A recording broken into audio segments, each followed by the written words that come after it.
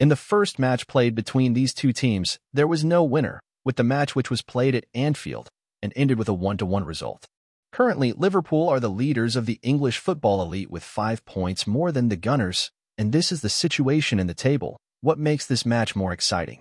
However, before this duel, Liverpool has received very bad news as they will not be able to count on the services of their star Mohamed Salah.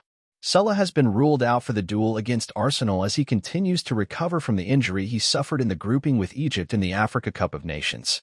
After Egypt were knocked out of the competition after defeat by DR Congo this week, Klopp said his side will miss Salah for the next two games.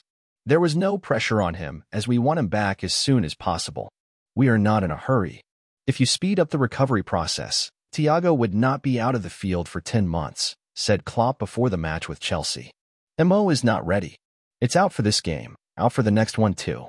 The situation could be more serious, but he is not available at the moment, concluded the German.